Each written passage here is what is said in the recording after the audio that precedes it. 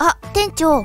先日来店されたお客様が夏が終わる頃にバレイヤージュに色を入れたいと希望され、バレイヤージュしている紙へのオンカラーの方法がまだよくわからなくて、店長、教えてもらえませんか？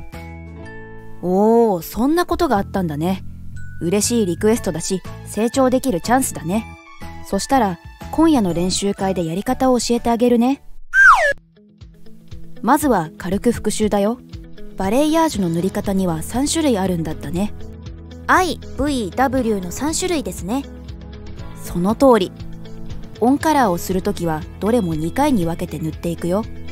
よし、早速塗り方を見ていこう。まずは根元から中間にかけての塗り方だよ。ブリーチを使ってバレイヤージュを入れたウィッグにオンカラーをしていくね。はーい。バックのアンダーセクションから斜めのスライスで2、3センチを取り、根元から中間まで塗布するよ。この時に薬剤が毛先に伸びないように注意してね。気をつけます。根元を塗布するときは薬剤が溜まりすぎないように気をつけてね。どうしてですか？いい質問だね。根元に薬剤が溜まると根元だけ明るくなってしまうからだよ。なるほど。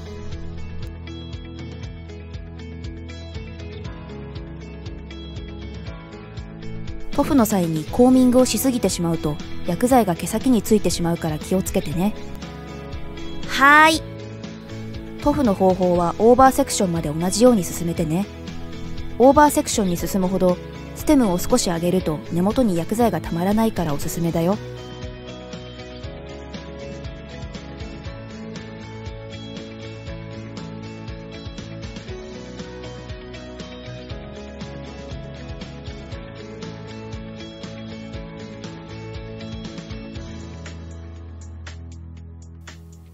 次にサイドに入るね。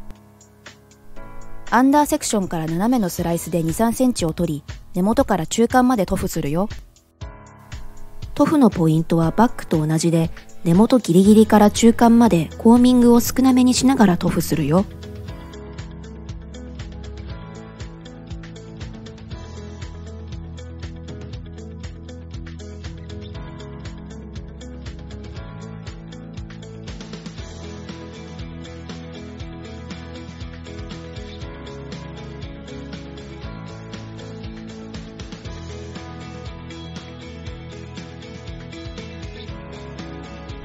塗布が終わったらクロスチェックをしていくね。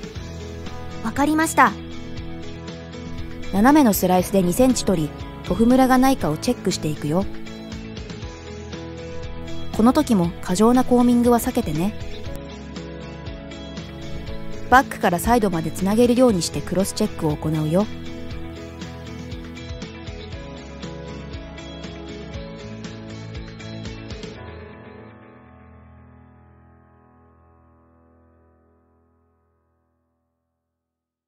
クロスチェックが終わったらデザインに合わせて放置時間に入るからね。ここまで大丈夫そうかな？はい、大丈夫です。難しそうだけど、早くできるようになりたい。?OK。そしたら次は中間から毛先にかけての塗り方だよ。放置時間が終わったから次に中間から毛先の塗布をしていくね。ブロッキングを取ったらサイドのオーバーセクションから塗布をしていくね。スライスは2センチで中間から毛先まで薬剤をたっぷり塗布するよ。この時も過剰なコーミングは避けてね。気をつけます。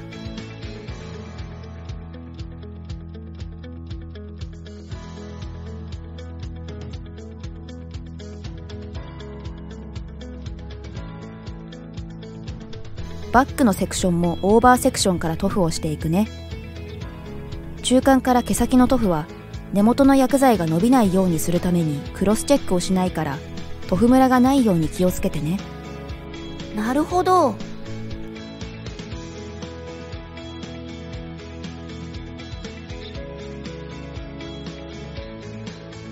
仕上がりがこちらだね。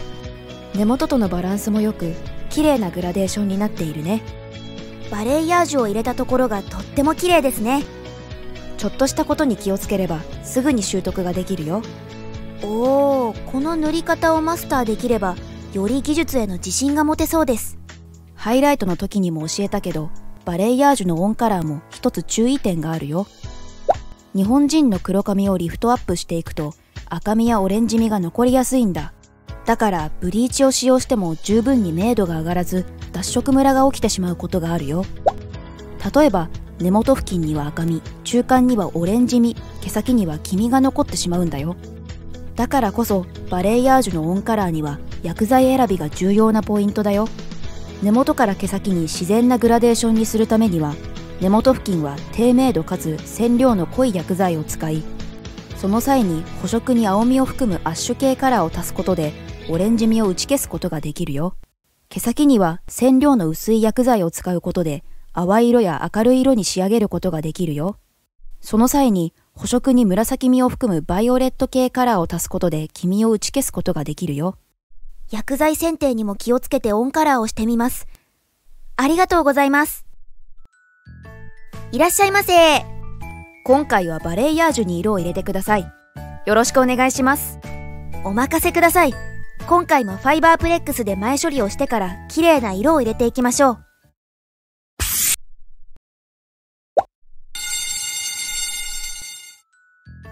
うわー、とっても綺麗な仕上がり。